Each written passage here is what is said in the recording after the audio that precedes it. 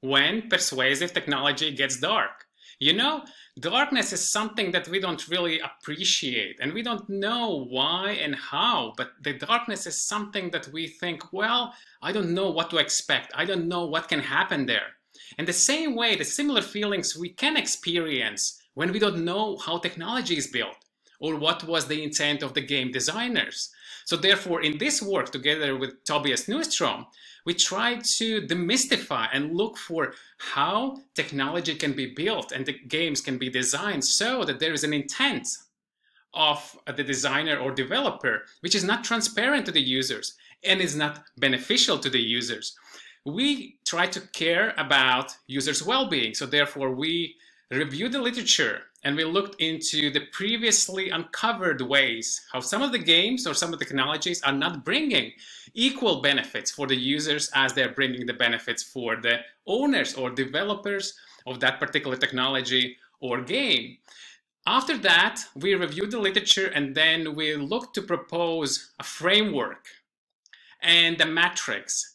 These are the tools that we propose in this work so that Practitioners and game designers and also scientists would be more equipped when dealing with evaluation of technologies and games.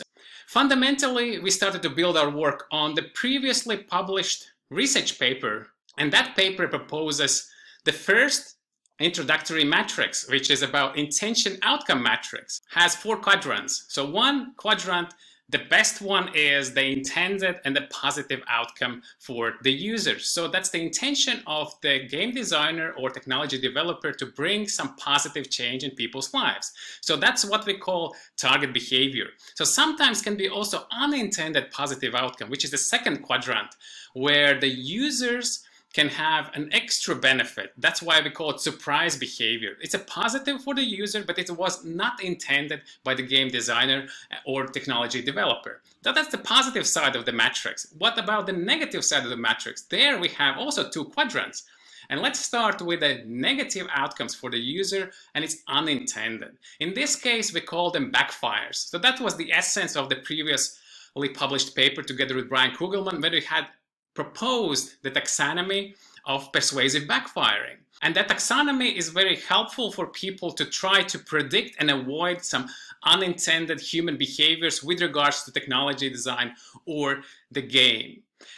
The last quadrant is dark patterns, and that's exactly what we are now addressing in our research. To understand the underlying phenomena behind the dark patterns, in this work we looked at what could be the possibly another matrix emerging under the dark patterns and we looked into the visibility darkness matrix how the intent of the developer or the game is visible or invisible to the users and then also the effect or the impact to the well-being of the user whether that's a not that bad which could be gray so it's still in a favor for the developer not that good for the user but it wouldn't be maybe that severe and then the other end is the darkness, where it's really the balance is not there, so it's more benefits for the developer and less for the users. So we propose this visibility darkness matrix. And to explain how it works, we also have collected some examples for that. So let's start with a visible and gray quadrant. And there we have two examples. One is the game Fortnite, and the other one is the frequent flyer programs. So Fortnite is a game where people can purchase extra interesting features and of course it doesn't give any competitive edge for the people who are purchasing these packages. But the other thing is if people get into the mindset okay I, if i purchase more i will look better I, I have more entertainment and sometimes you get more of a possible addiction i need to get more and more and more of this. And in terms of the frequent flyer program you know, sometimes when there are points that you collect in the frequent flyer program, and then some of these points have expiration date. And when this expiration date comes, for you to not lose your achieved level before, sometimes it suggests you need to purchase the next trip. You have to book another hotel room or you need to rent another car and you have no plans for that. So therefore it kind of have the situation where you need to choose which way to go and you know, if you don't book your next hotel or next flight, you're to lose those points. And therefore, it's not like a very clear whether that's positive or negative. So therefore, we position is at a gray. And of course, it's visible because it's description into the loyalty program. So let's move on. The other thing that we would like to look at the gray area, which is not visible but invisible. And for that, we have an example about the game, the game Two Dots. And that game is where you players have a few rounds for free.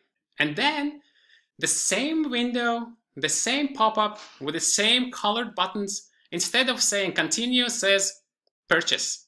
And it's not the same. It's kind of your, the game design is making the users to, to believe, oh, this green button means continue, and I'm gonna just press it. But in this case, it's kind of building up this brain muscle that continue, continue. The green button means continue, but now it's about paying. And therefore, it's not that visibly explained what's going to happen now and how it's going to change. So therefore, we position it as the gray and invisible. So now let's move on to the visible and dark. And for that corner, we have a game, again, it's FIFA 18 and they have lots. Everyone can have their own team and they can play the games and also make their team stronger by purchasing specific packages called lots. And that really makes your team more competitive. The problem is, once the users start to purchase these lots, their teams become much more competitive. So that the people who are not purchasing any lot are not having any chance to be in the competition with the teams that have players supported by these lots. So therefore, in the end, although the whole game and the experience or description of these lots are, is very visible, everyone can read them, everyone can see what's in them, still, it's not the fair game in the terms that if you don't buy, you are not competitive. So pretty much it, it leaves the players with the only one option. Either you pay or you lose. And I think this is quite dark in terms of if we think about the enjoyment of the game and also engagement of the users. Otherwise, it, it kind of happens. You are just purchasing your wins all the time. And now let's move on to the last one, which is the dark and invisible. And for that, we have two examples. One is a Farmville, a game where people need to take care of what the tasks are. So they need to revisit the game, take care of what they have there, the tasks, they do the tasks. And because the game design is made to attract and to retain users coming and taking care of what they need to do there, it's very frequently. And therefore, it's a big question mark whether the people are evenly diligently taking care of their real lives as they are doing into this Farmville.